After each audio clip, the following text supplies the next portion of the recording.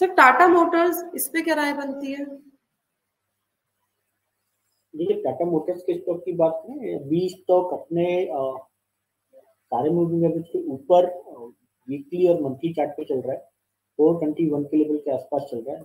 और हमें लगता है कि ये स्टॉक टाटा मोटर का स्टॉक जहाँ तक ईवी e वाली बात है ईवी e में टाटा मोटर काफ़ी अच्छा कर रहा है और काफ़ी अच्छी ईवी e में उन्होंने अपनी बना ली है। और अभी कुछ दिनों से लेकिन देखें तो कुछ टाइम से ये स्टॉक एक रेंज में चल रहा है। और हमें लगता है कि नीचे की तरफ़ स्टॉक में कहीं ना कहीं जो 400 के जो लेवल है थ्री थ्री नाइन्टी फाइव के वो काफ़ी अच्छा बेस नज़र आते हैं।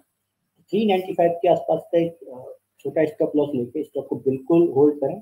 और लेकिन जैसे ही ये स्टॉक 450, 445, 450 के लेवल को ब्रेक करेगा तो फ्रेश मोमेंटम स्टॉक में बनना शुरू हो जाएगा और स्टॉक में फिर आपको दोबारा से 500 तक के लेवल देखने को मिल जी। तो ये थी राय टाटा मोटर्स पर।